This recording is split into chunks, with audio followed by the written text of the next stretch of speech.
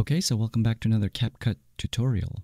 In this one, we're going to show you how to screen grab or grab a still image from a video in your timeline. Simply drag the timeline cursor to go to the part of the video that you want to grab an image or still. Then you want to go to the upper right hand corner where there are three horizontal lines. Click on that and select Export Still Frames. From here, you can rename it to whatever you want and choose where to export it to. You can also choose a resolution, anywhere from 4K, 2K, 1080p, 720p, or 480. And you can choose to save it in the format of JPEG or PNG. Import project means if it's turned on, the saved image or still will be directly imported into your CapCut project. Then click Export, and if you go to the folder where you saved it, you'll see the saved image or the still.